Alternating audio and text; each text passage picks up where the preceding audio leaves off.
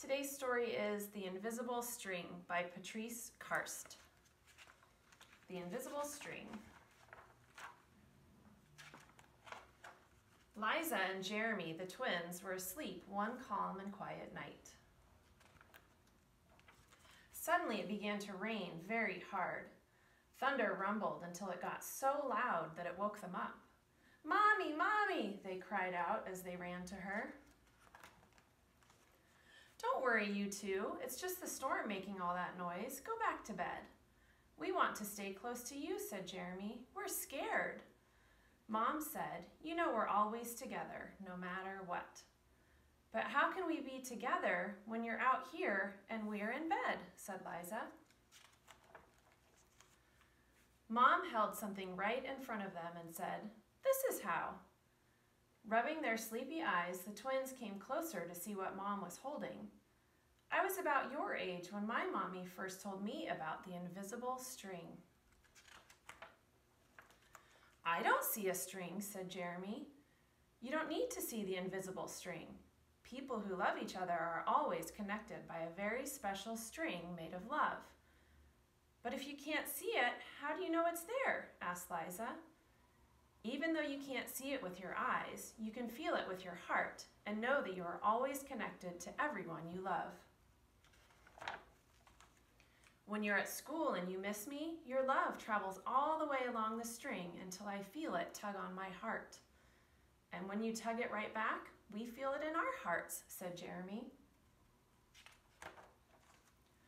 Does Jasper the cat have an invisible string? Liza asked. Sure she does, said Mom.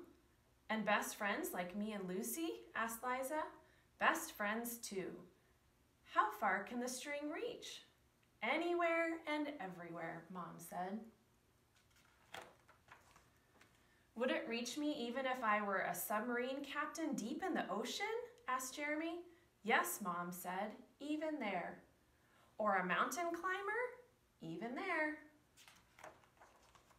A ballerina in France? Even there. A jungle explorer? Even there. How about an astronaut out in space? Yes, even there. Then Jeremy quietly asked, Can my string reach all the way to Uncle Brian in heaven? Yes, even there. Does the string go away when you're mad at us? Never, said Mom. Love is stronger than anger, and as love and as long as love is in your heart, the string will always be there. Even when you get older and can't agree about things like what movie to see, or who gets to ride in the front seat, or what time to go to bed. Oh, that's right, you two should be in bed. And with that, they all laughed as Mom chased the twins back to their beds.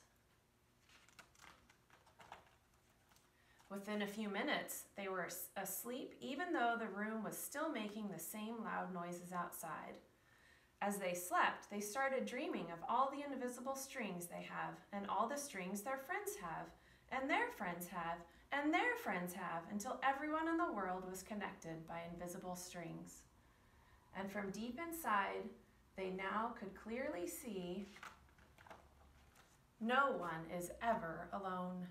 The end.